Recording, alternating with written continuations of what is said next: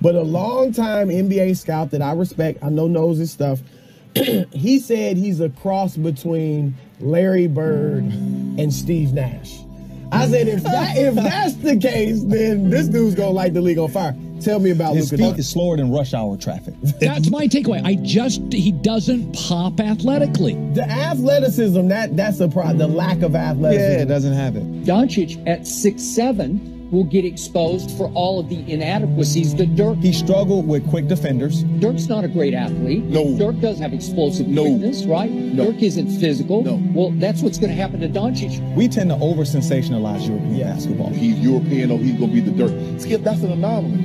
It sounds like you're saying Luka will not be like a perennial all-star type player, don't but see if that. I am not saying Luka is setting the NBA world on fire. Mm-hmm. I, I'm not sure he's going to be a dominating NBA player. I don't believe he's a lottery pick. not a lottery No, pick. I don't. Wow. DeAndre Ayton is going to be the number one overall pick, but it's incredibly important that the Phoenix Suns don't mess this up. I don't give a damn about how this kid in Europe looks. Sorry, I'm not loving what I'm hearing about Luka. Then This kid's a really I mean he's better than Ricky Rubio, but he doesn't Sure. look, he doesn't look special to me. I don't see Steve Nash. I definitely don't see that.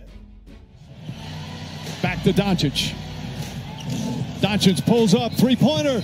Bang! Bang! It's good! Doncic wins the game at the buzzer! Let's go!